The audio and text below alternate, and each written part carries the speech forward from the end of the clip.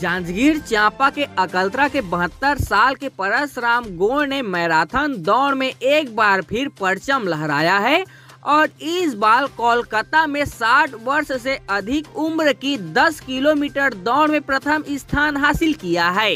कोलकाता में मैराथन जीतने के बाद अकलतरा पहुँचने पर स्थानीय लोगों ने परसराम गोड़ का स्वागत किया।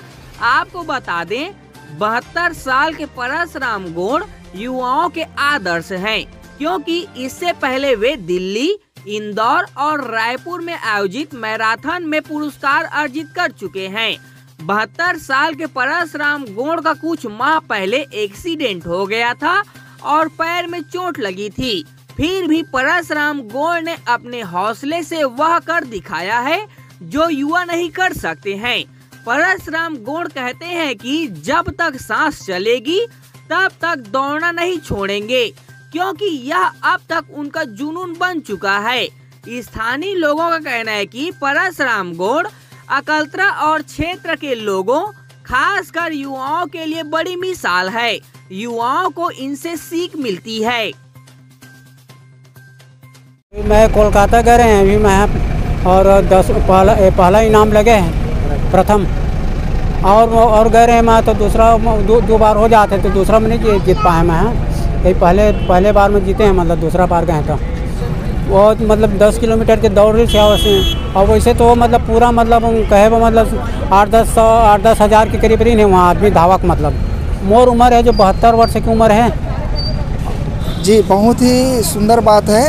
और परसराम गौड़ जी मेरे वार्ड के हैं।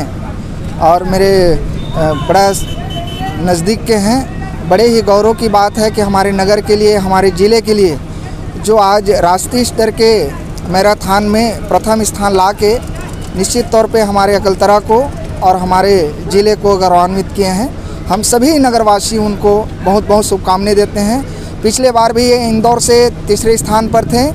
इस बार कलकत्ता में दौड़कर प्रथम स्थान आए हैं और हमारी बहुत बहुत शुभकामनाएँ। आज पूरे नगरवासी भी हर्ष हैं उनमें। कि एक इस उम्र में 60 प्लस में दौड़ के और ये प्रेरणा की बात है नए युवकों के लिए कि इस तरह के वो करके आज एक उदाहरण प्रस्तुत किए हैं। तो हम बड़े ही अभी डीजे के साथ उनको रेलवे स्टेशन से उनके घर तक छोड़ने जा रहे हैं पूरे नगरवासियों के साथ। आपका जो बैकग्राउंड रहा है या बोले तो बैकग्राउंड बोलना सही नहीं है।